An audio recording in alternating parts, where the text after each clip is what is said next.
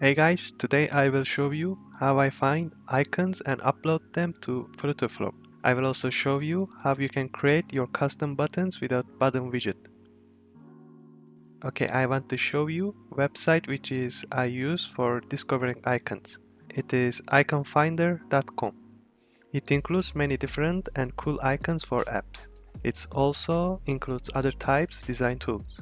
I want to show some random works on homepage. Now I want to show you how you can find icons for Flutterflow. Let's say we want to find camera icon. I am searching camera icon now. You can filter your searching as free or premium on website. We will select free for this example. Let's choose an icon.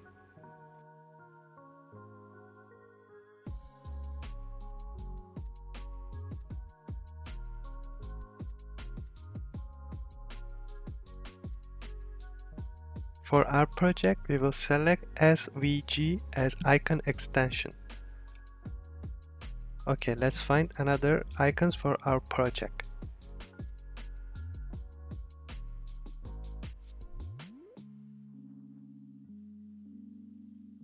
Now we will open new website fluttericon.com which is to generate custom icons for Flutter apps. We will drag our custom icons we downloaded from Icon Finder give it a name and download.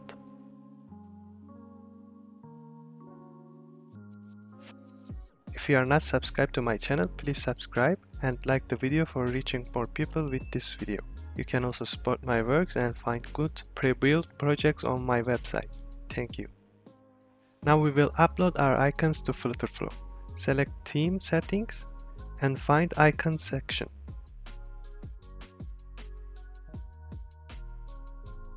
Click upload icon file and choose TTF extension. Now we will back on folder and choose Dart extension. That's it. Our icons will be uploaded to our Flutterflow project. We saw how we will upload custom icons and now I want to show you some good inspiration about custom buttons for your project without depending on button widget.